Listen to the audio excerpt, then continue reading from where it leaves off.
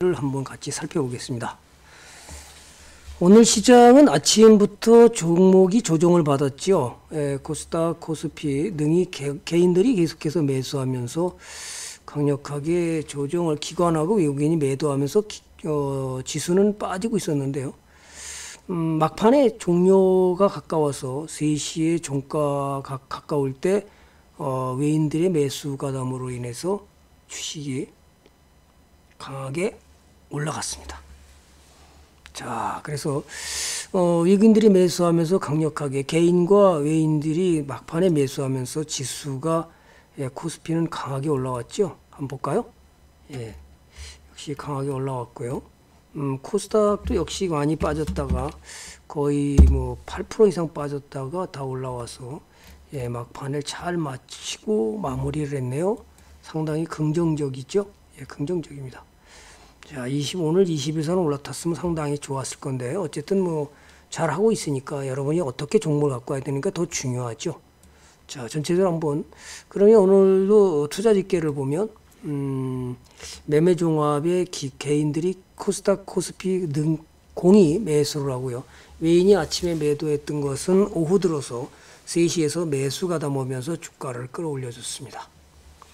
중요한 것은 뭐 어제 굉장히 그 지수가 많이 빠졌을 때도 역시 어 강하게 올려주면서 그죠? 예, 환율이 어제 급격하게 떨어지면서 굉장히 긍정적인 모습을 보였는데 오히려 음 기관이 매도 강해지면서 외국인하고 지수는 많이 빠졌었죠. 코스피는 뭐 38포인트까지 빠졌다가 다 올라왔고요. 그 다음에 오늘도 아침부터 빠지다가 오히려 강하게 올라와 줬습니다. 자, 우리는 어떤 종목을 어떻게 나가야 될지가 지금 실적 발표를 계속하고 있습니다. 기업들마다 실적 발표를 하고 있는데요. 자, 제가 주도주로 간다고 그랬던 업종이 역시, 어, 제일 먼저 중요한 것은, 음, 누구였었냐 하면, 예, 5G 종목의 장비주들이 나가고 있다고 그랬죠. 그래서 오늘도 역시 장비주가 강하게 나가고 있습니다. 신고가를 내고요. 그것이 RFHIC죠. 예. 음, RFHIC 오늘 그죠 강하게 나가고 있고요. 그 다음에 또 하나가 이제 그동안에 그 실적이 부진해서 유한양이 떨어졌었는데요. 예. 어제 기술 수출을 하면서 유한양행이 강력하게 사제 상한가를 가고 오늘도 아침에는 강약했다가 기관 외국인이 강력하게 매도하면서 예, 지수 종목은 많이 예, 상승폭을 줄였죠. 같이 공동 연구했던 오스코텍 역시 역시 예, 강하게 올라갔던 것을 다 차익 실현이 나왔습니다. 하지만 이제 그 이 영향으로서 어 이제 종목이 좋은 역할을 해준 것이 대웅제약이죠. 예, 시 그죠 강하게 올라와서 상당히 긍정적으로 보이고 재료가 소멸됐다고 보기에는 아직까지는 좀 예, 그런 면이 있는데 예, 아직은 좀 더 지켜봐야 될 것 같고요. 어, 조금 더 우리나라 바이오 종목들이 계속 강력하게 제약 바이오가 좀 긍정적으로 본다 이렇게 말씀 말씀드릴 수 있고요. 또 하나 우리가 이제 최근에 사서 박스를 돌파하고 상당히 좋다. 저 슈퍼박테리아 관련 종목을 이제 매수한 것이 레고 캠바이오 상당히 긍정적으로 멋지게 자 박스 돌파하면서 나간다. 굉장히 좋으니까 강력 매수해라.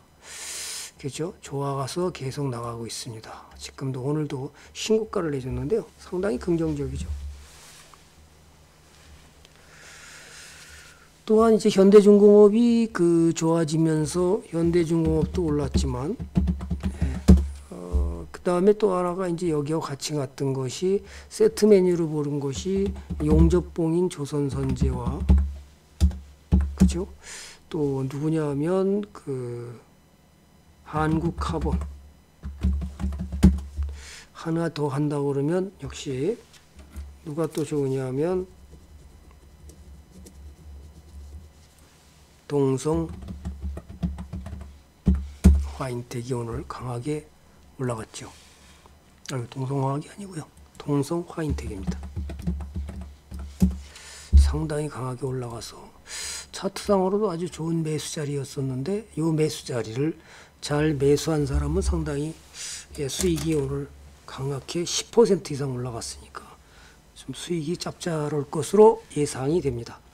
자, 중요한 것은 오늘 어제 기술 수치 1조 4천억이라는 유한양행의 강한 상승이 기술 이전 효과가 굉장히 좋았었죠.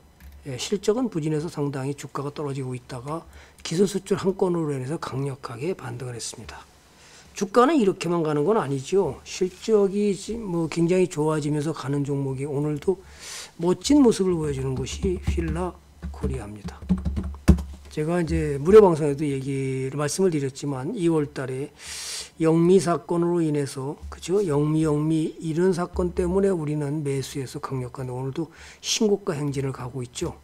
참 역사적 고점을 넘어가고 강력하게 가는데 아, 전문가님 여기서 사야 되나요? 아, 저는 계속해서 주장했습니다. 박스권에서 또 사야 된다.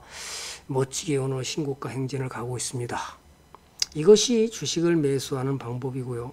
또 어, 역시 또 하나가 이제 주도주로 가고 있어서 실적에는 무림 PMP죠. 예, 역시 무료 방송에서 추천했다가 많이 조정받고 다시 나가고 있습니다. 여러분은 어떤 종목을 어떻게 매수해서 갈지를 본다면 역시 뭔 일을 벌려야 되는 거죠? 기업이 실적을 개선해서 가면서 펀더멘털까지 좋아진다면 그 주식은 여러분은 강력 매수해야 됩니다. 그런데 대부분의 투자자들은 예, 강력하게 상승할 때 짜, 쫓아가게 되고 조정하게 되면 손절하는 이런 이중 구조로 가고 있죠. 오늘 금, 그렇게 되면 이제 수수료도 많이 나고 긍정적으로 오늘 하나 나온 내용이 뭐냐면 금감위원장이 증권거래소의 폐지에 대해서 언급을 했다는 것은 상당히 긍정적입니다. 수익을 못 나는데도 불구하고 세금을 꼬박꼬박 바쳐서 누가 돈을 벌었죠? 예, 증권사가 돈을 벌었고요.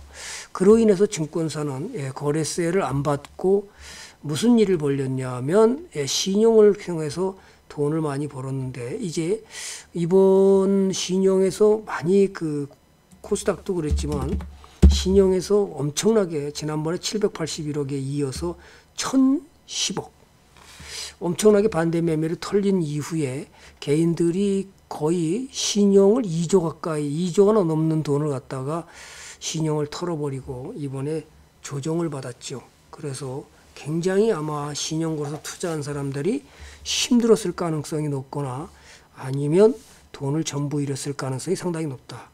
자, 제가 신용 없이 투자하는 것은 고수로 가는 지름길이라는 말을 해서 한번 예, 강의를 잠깐 짧게나마 올렸지만 이것이 증권거래세를 폐지하는 쪽으로 가는 것은 아마 굉장히 바람직하고요. 그동안에 증권사에서는 이미 예, 거래세를 폐지하느냐 어쩌냐에 대해서 신규 가입자들은 고객을 유치하기 위해서 실제로 뭐 평생 면제 또 뭐 5년 면제 이런 내용이 상당히 많이 나왔었죠. 자, 그렇게 되면 이제 신용 증권사에서는 다른 쪽에서 자체 내에 투자를 한다든지 어떤 식으로 해서 수익을 극대화하는 전략으로 갈 수 있는 어떤 루트를 만들어야 될 가능성이 점점 커졌다. 자, 그래서 우리가 좋은 주식을 매수해서 가는 것은 예, 포스코 캠텍 역시 오늘도 굉장히 좋습니다. 예, 신고가 행진을 직접 가면서 예, 역시 좋은 일을 벌리고 있습니다. 물론 오늘 뭐 저기 뭐 우리가 갖고 있던 종목 하나가 이제 3번 정밀전자인데요. 상한가를 했지만 그런 중요한 것은 아닙니다. 어떤 종목을 어떻게 매수해서 그죠? 꾸준히 가야 되는 것이 더 훨씬 더 중요하고요. 또 하나 이제 그 이제는 서서히 관심을 가져야 될 것이 어, 보험주도 오늘은 강하게 나갔죠. 현대 현대 해상하고 그죠? 그 다음에 DB 손해보험하고 이런 것들이 이제 이번 업황이 살아나면서 조금씩 실손보험에 대한 어, 수익률이 어, 정부에서 어, 비용을 상승시키겠다 그러면서 굉장히 좋은 흐름으로 지금 가고 있고요. 최근에 이제 그거 말고도 음 여러분이 관심을 가져야 되는 것은 어, 오늘은 어떻게 됐는지 한번 잠깐 볼까요? 제가 유료 언더를 추천해서 예, 오늘도 상당히 긍정적입니다.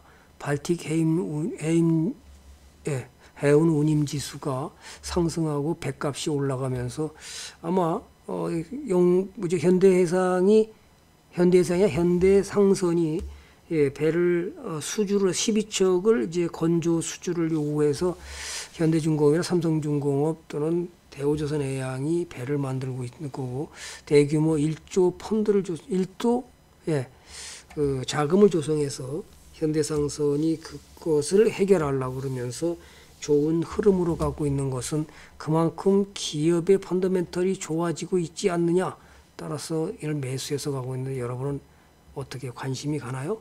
예, 좋은 종목을 어떻게 매수하는지를 여러분들이 꼭 이해했으면 좋겠고요.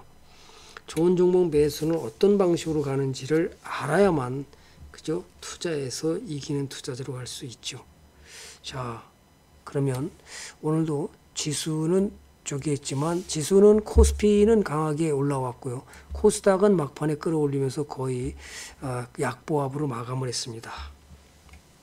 자, 좋은 종목을 매수해서 가는 방법 어떤 식으로 가야 될지 또 제약 종목에서 오늘 레고캠바이오가 상당히 강하게 신고가 행진을 갔고요.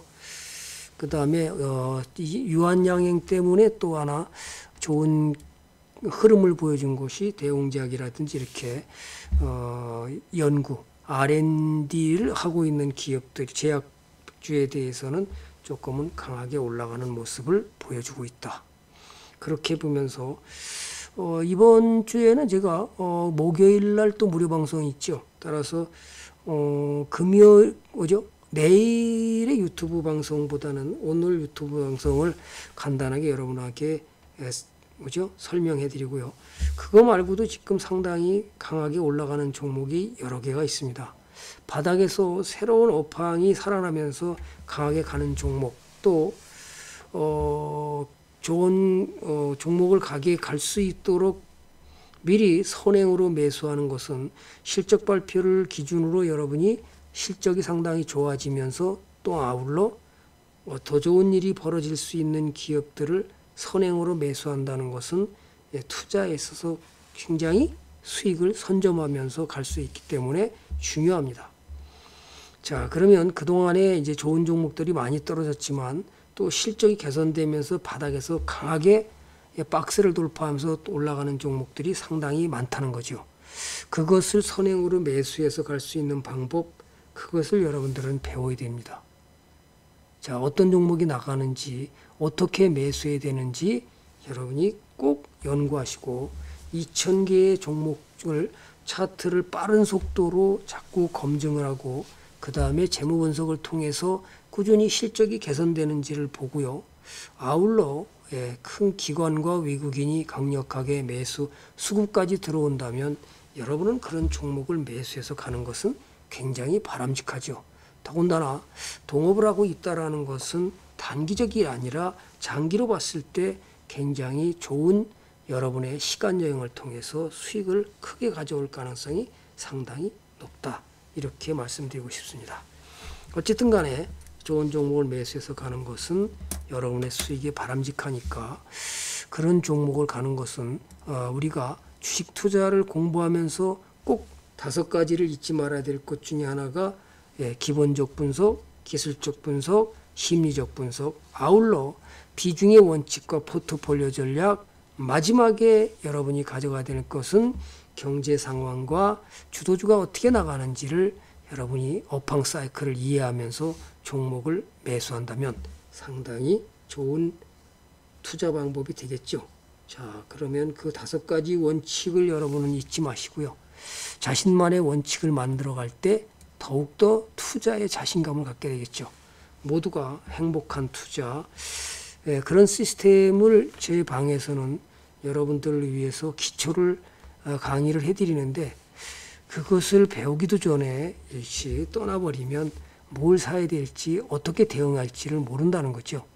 자, 여러분은 어, 올바른 투자 전략을 가는 길을 하나하나씩 배워서 모두가 행복한 투자라고요. 신용을 걸지 말고 좋은 종목을 매수해서 갈 때 여러분의 투자는 행복한 것이고 투자로 인해서 아픔을 겪지 않고 언제나 은행보다 멋진 수익을 가져가는 그런 투자가 됐으면 좋겠습니다. 그래서 저는 뭐 이렇게 얘기합니다. 은행 주식, 은행에다가 적금을 부는 대신에 그 은행 주식을 해약해다가 그 은행을 사라. 적금 통장을 깨서 그 은행을 사라. 이렇게 강조한 사람 중에 하나입니다. 여러분은 어떻게 갈 건지 이 시장을 잘 이제 뭔가가 자꾸만 바닥에서 탈피하고 가고 있으니까 뭐 미국 선거가 어떠느니 뭐 공화당이 가느니 무슨 뭐 민주당이 가느니 그건 더 중요한 건 아니라고 저는 생각합니다. 어떤 기업을 어떻게 영업이익을 잘 내는 기업을 기본적으로 매수하려고 노력하다 보면 시장이 폭락해도 가는 종목이 수두룩하게 나온다는 거죠. 그래서 시황이 중요한 것이 아니라 어떤 종목을 매수해서 내가 수익을 극대화하는 전략. 그죠? 조금 먹고 자르는 게 아니라 더 큰 수익을 가져갈 수 있는 용기와 배짱 거기다 아울러 인대신까지 가져갈 수 있어야 진정한 가치 투자가 되는 것이죠. 자, 진정한 가치 투자가 되기 위해서는 여러분이 좋은 종목을 저평가 종목에 매수해서 갈 수 있는 길을 공부하고 가는 것은 굉장히 바람직합니다. 자, 오늘도 여기까지 하고요. 다음 이번 주 목요일 날 오전 무료 방송에서 여러분을 만나보겠습니다. 모두가 행복한 투자에서 모두 부자 되시기 바랍니다. 감사합니다.